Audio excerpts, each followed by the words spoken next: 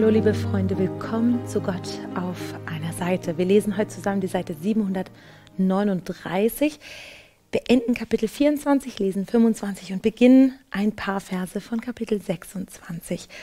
Und wir wissen, wir befinden uns in der Apokalypse des Jesaja und wir wollen heute tief einsteigen in diese Vorhersagen, die sehr weitreichend sind und davor gemeinsam beten. Lieber Herr Jesus, danke für dein Wort, das uns so detailliert darüber ja, unterrichtet, was alles kommen wird in der Zukunft, damit wir wissen dürfen, was du mit uns vorhast, mit deinem Volk vorhast, mit dieser Erde vorhast. Herr, lass uns daraus lernen und es uns zu Herzen nehmen. Amen. Wir beginnen in Kapitel 24, Vers 17. Grauen, Grube und Garn kommen über dich, du Bewohner der Erde.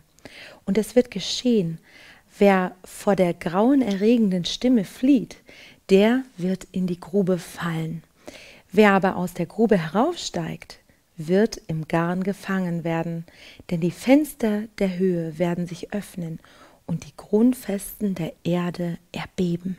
Das ist ein Szenario, das Jesaja hier beschreibt, was vor der Wiederkunft passieren wird. Und wir werden die nächsten Verse noch mehr lesen über diese Zeit. Die Erde wird krachen, zerbersten, die Erde wird reißen und bersten, die Erde wird hin und her schwanken, die Erde wird hin und her taumeln wie ein Betrunkener und schaukeln wie eine Hängematte. Ihre Missetat lastet schwer auf ihr, sie fällt und steht nicht wieder auf. Und es wird geschehen an jenem Tag, da wird der Herr, das Heer der Höhe, in der Höhe heimsuchen und die Könige der Erde auf Erden. Vers 19 und 20 beschreiben auf eindrückliche Weise, wie es bei der Wiederkunft der Erde gehen wird. Die Erde wird aus ihren Angeln gehoben werden. Es wird ja ein, eine wahnsinnige Naturkatastrophe, einen Konglomerat aus Naturkatastrophen geben. Und alles wird erschüttert werden. Und das heißt hier auch, das Heer der Höhe wird er heimsuchen. Und damit sind Satan und seine Dämonen gemeint.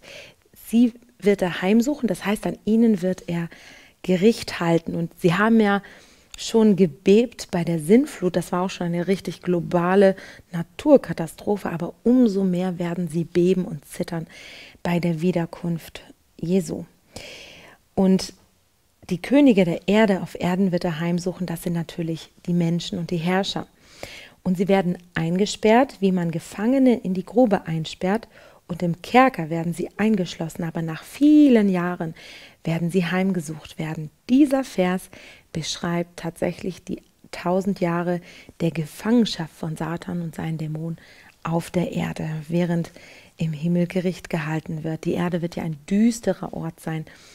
Nur kein Mensch wird mehr da sein, nur die bösen Engel mit Satan.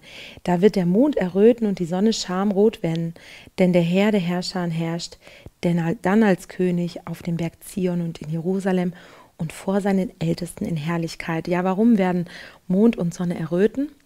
Weil sie überflüssig sind. Jesus wird so eine helle Sonne sein und so viel Herrlichkeit ausstrahlen, dass die Himmelskörper vor Scham erröten, weil sie da nicht mithalten können.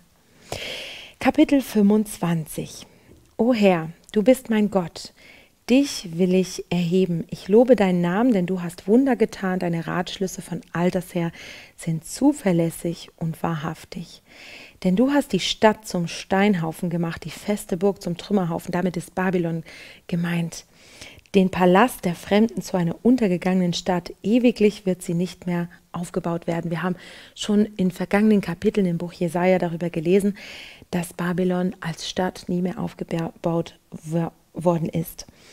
Darum ehrt dich auch ein mächtiges Volk. Die Städte gewaltiger, gewalt, gewalttätiger Nationen fürchten dich. Denn du bist dem Schwachen eine Zuflucht geworden, eine Zuflucht dem Armen in seiner Not, ein Schirm vor dem Wolkenbruch, ein Schatten vor der Hitze, ein Zornhauch der Tyrannen, wie ein Unwetter gegen eine Wand daherkam. Wie die Sonnenglut in einer dürren Gegend, so dämpfst du das Toben der Fremden. Wie die Sonnenglut durch den Schatten einer Wolke, so legt sich der Triumphgesang der Tyrannen, also alle, die Gott widerstanden haben, alle Feinde, ihr Gesang wird verstummen. Und der Herr der Herrscher wird auf diesem Berg allen Völkern ein Mahl von fetten Speisen bereiten, ein Mahl von alten Weinen, von fetten, markigen Speisen, von alten, geläuterten Weinen. Und hiermit ist natürlich sehr wahrscheinlich das Hochzeitsmahl des Lammes gemeint im Himmel, wenn wir von Jesus ja eingeladen werden und sogar bedient werden und er uns alles darbietet, was der Himmel zu bieten hat. Was für ein unglaublich ereignisreiches, ein ereignisreicher Tag wird das sein und wie werden wir uns freuen, an diesem Festmahlstisch zu sitzen, der wahrscheinlich so lang sein wird, damit alle Erlösten Platz haben, wo wir gar nicht das Ende erblicken können. Und er wird auf diesem Berg die Schleierhülle wegnehmen, die alle Völker verhüllt, und die Decke, womit alle Nationen bedeckt sind. Dieser Vers erinnert uns ganz stark an, 1. Korinther, an 2. Korinther 3, Vers 14 und die folgenden Verse, wo es ja auch von dieser Decke spricht, diesen Schleier, durch den wir nur sehen. Er wird den Tod auf ewig verschlingen. Und Gott, der Herr, wird die Tränen abwischen von jedem Angesicht und die Schmach seines Volkes hinwegnehmen von der ganzen Erde. Ja, der Herr hat es gesprochen. Und aus diesem Vers hat Johannes in der Offenbarung sein Kapitel 21 kreiert. Aus diesen Versen hat er das gewonnen, dass Gott die Tränen abwischen wird von allen Augen. Das wird nach den tausend Jahren passieren. Und an jenem Tag wird man sagen, seht, das ist unser Gott, auf den wir gehofft haben, dass er uns rette, das ist der Herr, auf den wir hofften. Nun lasst uns frohlocken und fröhlich sein in seiner Rettung und fröhlich sein können wir nach der Rettung durch die Wiederkunft, wenn er die übrigen nach Hause holt. Denn die Hand des Herrn wird auf diesem Berg ruhen, Moab aber wird unter ihm zertreten werden, wie Stroh in der Misslache zertreten wird. Und sollte es auch seine Hände ausbreiten, wie ein Schimmer sie ausbreitet, um zu schwimmen, so wird er seinen Hochmut erniedrigen, trotz der Kunstgriffe seiner Hände. Dazu muss man wissen, dass Schwimmen in vielen orientalischen Nationen damals nicht sehr verbreitet war. Nicht viele Menschen konnten schwimmen. Und die Kunstgriffe der Hände sind, ja, damit ist das Schwimmen gemeint. Es wurde ja als etwas Besonderes betrachtet, wenn jemand schwimmen konnte. Und ja, Gott sagt, ihr werdet versuchen zu schwimmen, aber es wird euch nichts nützen. Deine festen, hochragenden Mauern wird er niederwerfen, abreißen und zu Boden stoßen in den Staub. Und nun folgt ab, Vers, ab Kapitel 26 das Loblied der Erlösten zur Errettung zur Verherrlichung Gottes. Und dieses Lied ist ein Lied über die Notwendigkeit der Drangsal und Erziehung des Volkes. An jenem Tag wird dieses Lied im Land Juda gesungen werden. Wir haben eine feste Stadt. Errettung setzt er als Mauern und als Schutzwehr. Öffnet die Tore, damit ein gerechtes Volk einzieht, das Treue bewahrt.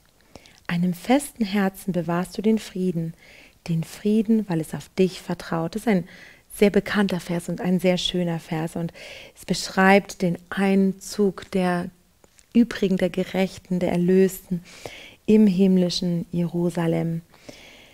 Vertraut auf den Herrn alle Zeit, denn ja, der Herr ist ein Fels der Ewigkeiten. Denn er hat erniedrigt die Bewohner der Höhe, die hochragende Stadt Babylon. Und er hat sie niedergeworfen, als er sie zu Boden er hat sie zu Boden gestürzt, hat sie herabgestoßen bis in den Staub. Das ist die Sprache aus Kapitel 14 von Jesaja äh, und auch aus Offenbarung 14. Gott wird alles zu einem guten Ende führen und darauf dürfen wir uns verlassen. Lasst uns beten.